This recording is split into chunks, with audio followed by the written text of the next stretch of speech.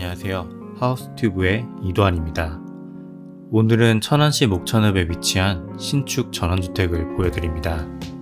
이 전원주택의 가장 큰 특징은 동서남북 방향으로 모두 산으로 둘러싸여 있어서 파노라마 산조망을 감상할 수 있다는 것과 천안 시내권까지 차량으로 10분 이내 접근 가능할 정도로 시내 접근성도 꽤 우수한 편입니다.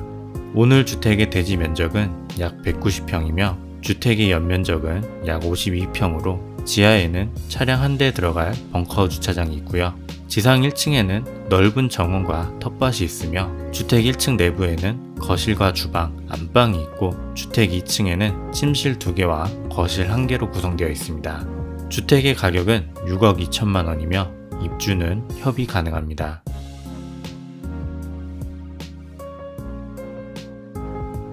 오늘 소개할 주택의 앞입니다. 지하 벙커 주차장에는 차량 한 대 주차가 가능하고 overhead door가 기본 설치되어 있습니다. 차고문을 열지 못해서 공간을 확인하실 수 있게 옆집의 차고를 참고로 보여드립니다.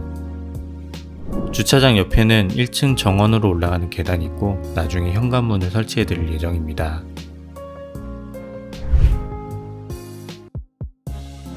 계단을 올라오면 멋지게 꾸며진 정원을 만나볼 수가 있는데요. 깔끔하게 잔디도 깔려 있고 꽤 많은 나무를 심어 두어서 기본 조경치고는 상당히 만족할 만한 정원의 모습을 보여줍니다. 오늘 주택은 외벽에는 검정색과 베이지 색상의 라임스톤으로 마감되어 있고 전체적으로 모던한 디자인으로 건축되었습니다. 지금 외부에서 보듯이 상당히 크고 넓은 샤시와 창문이 설치되어 있어서 내부에서 정말 좋은 개방감을 느낄 수 있습니다.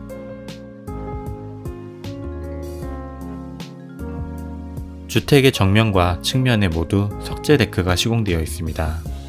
측면 사이드에도 정원 공간이 나오고 가장 끝에는 텃밭 자리도 만들어 두었습니다. 텃밭 관리를 위한 수도까지도 별도로 설치해 두었습니다.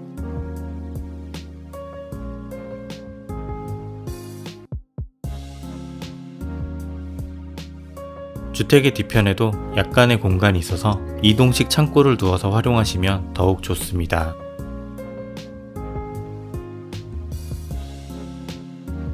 이곳 주택이 있는 곳에서 동서남북 모두 산으로 둘러싸여 있는데요. 뒤편에 있는 흑성산을 기준으로 태조산과 구성산 그리고 취암산을 모두 볼 수 있는 위치에 있습니다.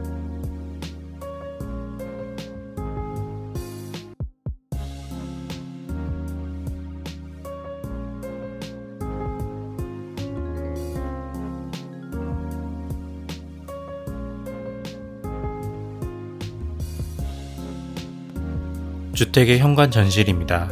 우측에는 신발장이 마련되어 있고요. 벽면과 바닥은 타일로 마감되어 있습니다.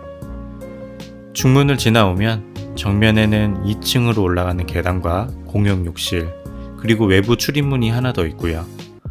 좌측에는 거실과 주방이 있습니다. 우측에 있는 1층 안방부터 보여드리겠습니다. 1층 안방은 간접등이 설치된 우물형 천장과 벽면에는 시원시원한 전경을 보여주는 넓고 큰 창문이 있습니다. 바닥은 마블링 디자인의 흰색 포세린 타일로 마감되어 있습니다. 정면의 창문을 통해 보여지는 모습이 한 폭의 그림과 같습니다. 이 집의 창호는 일중 단창으로 독일제 브랜드인 레아오 제품을 사용하고 있습니다. 단열 성능과 내구성이 좋아서 국내에도 많이 보급된 브랜드 제품입니다. 1층 안방에는 드레스룸이 있습니다. 길다란 드레스룸 우측에는 시스템장이 설치되어 있고 가장 끝에는 화장대 겸 건식 세면대가 있습니다.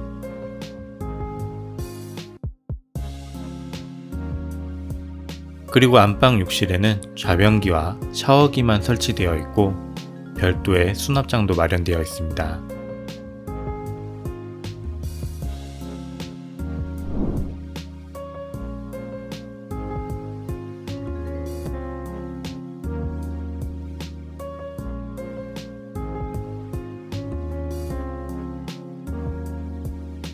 안방을 나와 이제 거실로 나가 보겠습니다.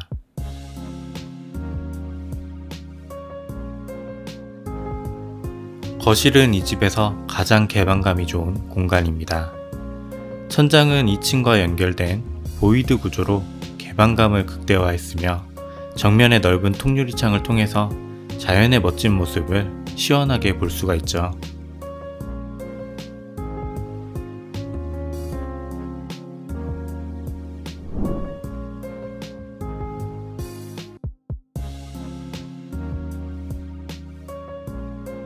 거실 양쪽 벽면에는 요란한 아트월이 없이 깔끔하게 타일로 마감되어 있어서 양쪽 어디에도 모두 TV를 설치할 수 있습니다.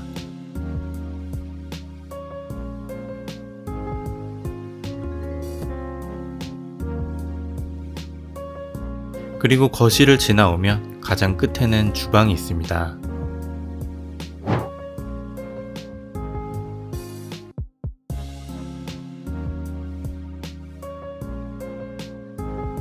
주방에는 냉장고 한 대 설치할 공간이 마련되어 있고요. 디귿자 형태의 주방에는 식기세척기와 넓은 싱크볼, 그리고 3구 인덕션까지도 설치되어 있습니다. 상부장은 물론 하부장까지 모두 빽빽하게 있어서 수납 공간은 아주 충분해 보입니다. 그리고 주방 앞에는 적어도 6인용 식탁은 넉넉히 들어갈 다이닝룸이 있습니다. 이곳 다이닝룸에서 정면과 측면의 정원으로 바로 이동할 수 있습니다.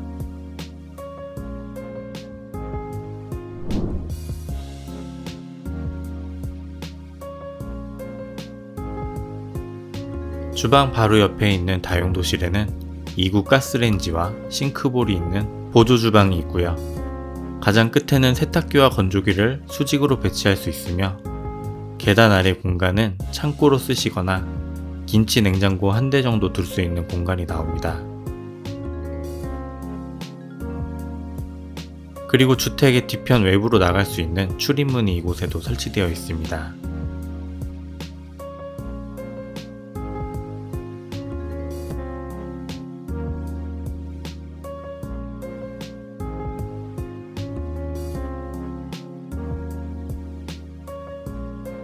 2층으로 올라가는 계단 바로 앞에는 1층 공용 욕실이 있습니다. 작은 게스트 미니 욕실이 아니고 샤워 부스까지 갖춰져 있는 욕실입니다.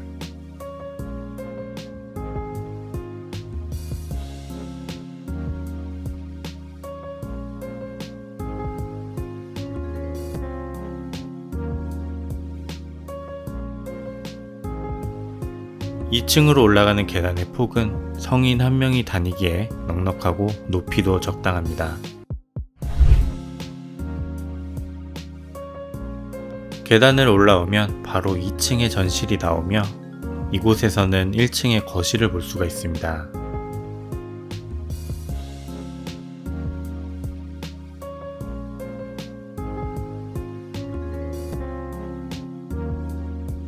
(2층에도) 작은 주방이 마련되어 있는데요.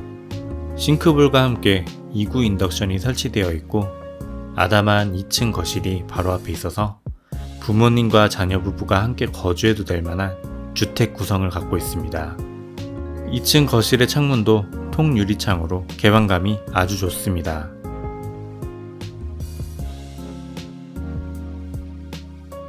거실과 함께 공용 욕실도 있습니다. 샤워 부스와 세면대, 자변기가 설치되어 있는 욕실입니다.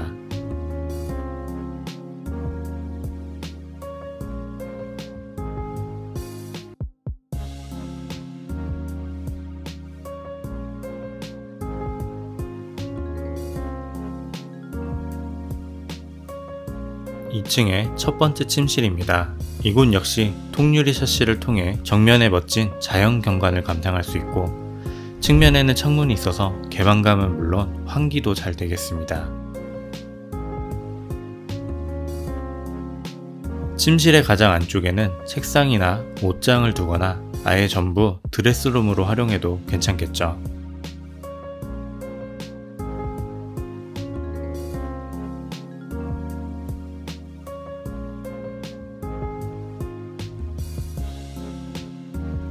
이 방에서 바로 앞 베란다로 나갈 수 있습니다.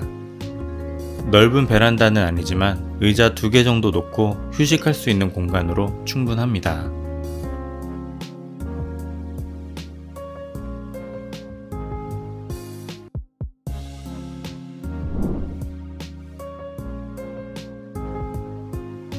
두 번째 침실은 지금 보았던 첫 번째 침실의 반대편에 있는데요. 두 번째 침실로 가기 전에 주택의 뒤편에 있는 베란다를 보여드리겠습니다.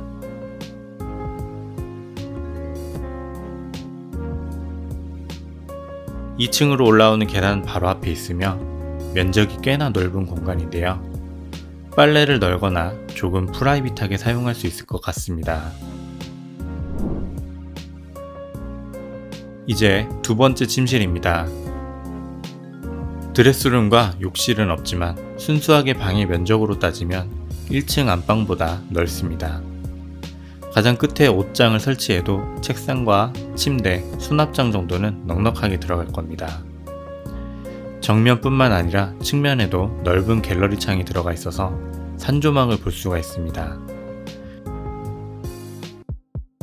그리고 이 방에도 역시 별도의 베란다가 달려 있어서 아늑한 휴식 공간으로 사용할 수 있습니다.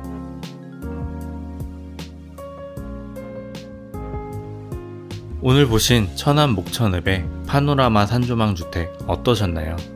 뛰어난 개방감과 넓은 정원, 그리고 한적한 주택 위치.